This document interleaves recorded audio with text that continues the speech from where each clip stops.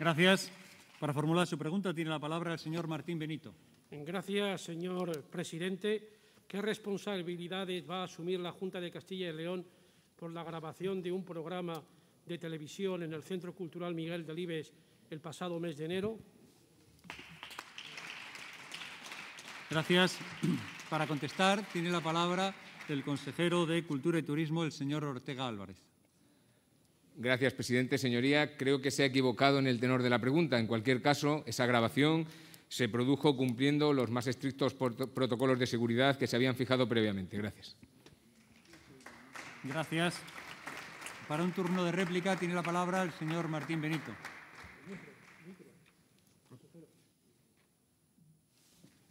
El pasado 21 de enero, la Junta de Castilla y León decretó el cierre de sus centros culturales y de la actividad presencial en los mismos. Y lo hacía, dijeron, por responsabilidad, por ejemplaridad.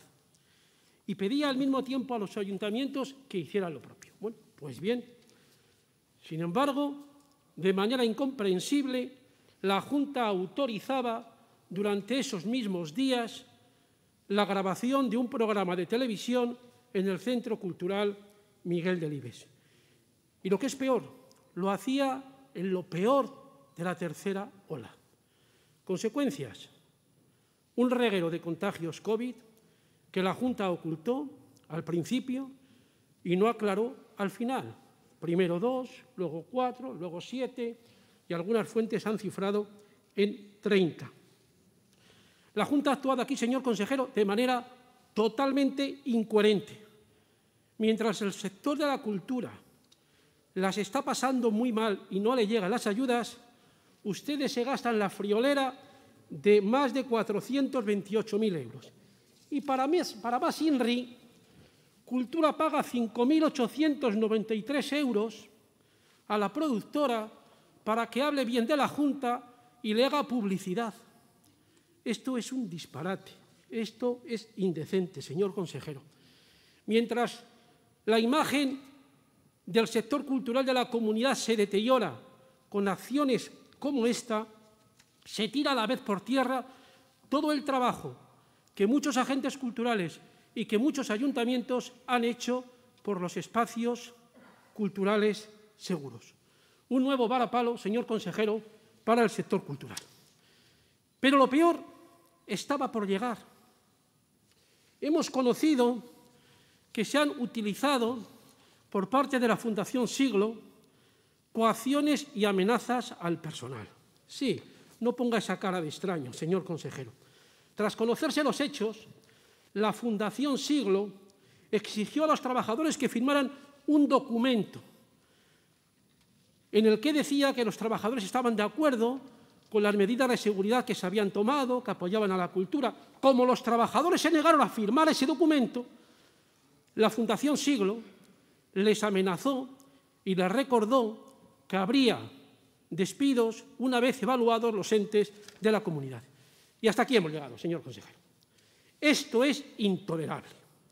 El director de la Fundación Siglo debe ser destituido o cesado fulminantemente.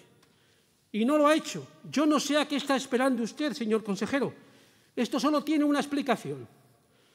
O usted es cómplice del director de la Fundación Siglo y de todo este embrollo, o quizá es que le va a sustituir o le va a cesar mañana. Lo prodigiosamente escandaloso de todo esto, señor consejero, es que todavía no lo haya hecho. Le voy a decir una cosa. Debe cesar de manera inmediata al director de la Fundación Siglo. Mejor hoy que mañana. Porque si no lo hace... Martín Benito tiene que terminar. Termino, señor presidente. Si no lo hace, usted será cómplice. Y las llamas y el cortafuegos le va a abrasar a usted.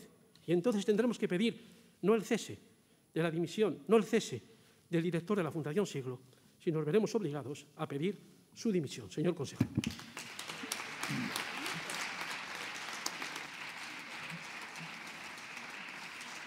Para un turno de dúplica tiene la palabra el consejero de Cultura y Turismo, el señor Ortega Álvarez. Gracias, presidente.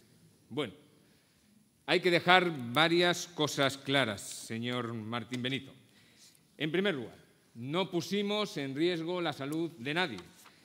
En todo momento se cumplieron rigurosamente los protocolos que se habían fijado previamente. Tanto es así que las dos personas, los dos contagios que se detectaron, se detectaron por pruebas PCR realizadas con anterioridad, es decir, realizando un cribado previo, señoría.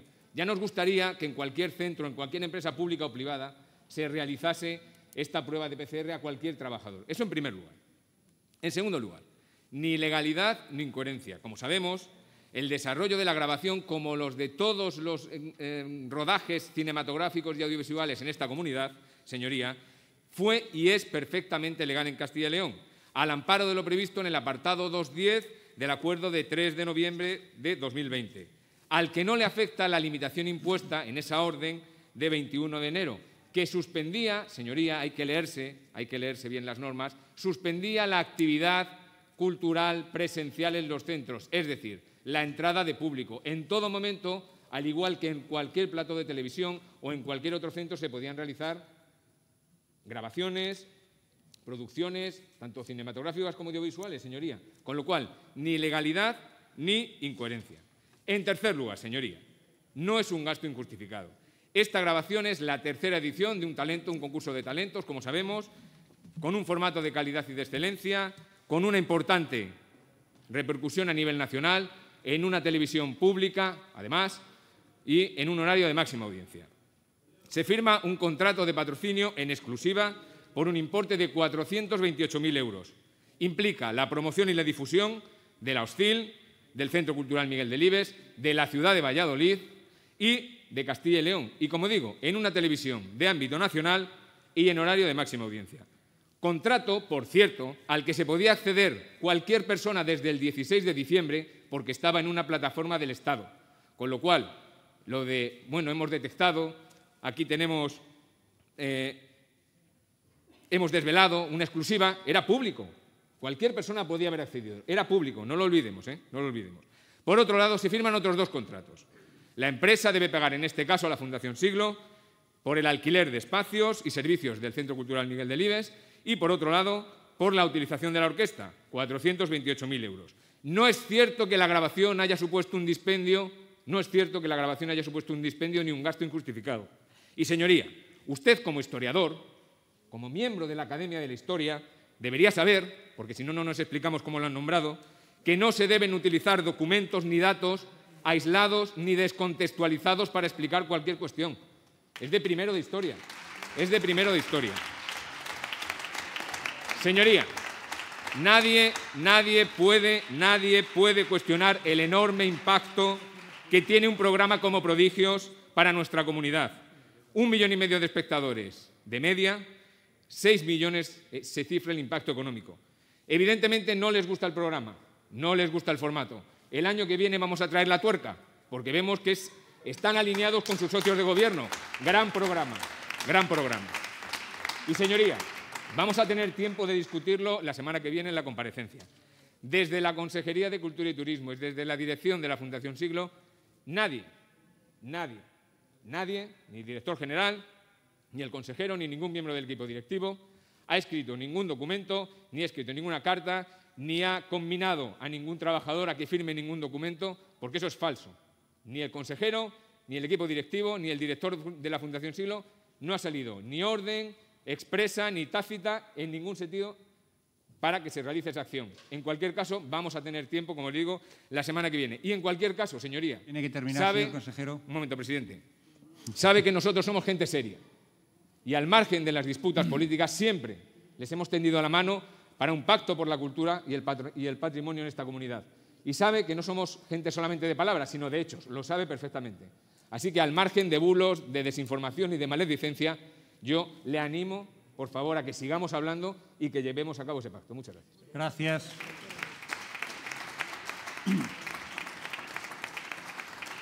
Por favor, señor consejero, ¿puede apagar su micrófono?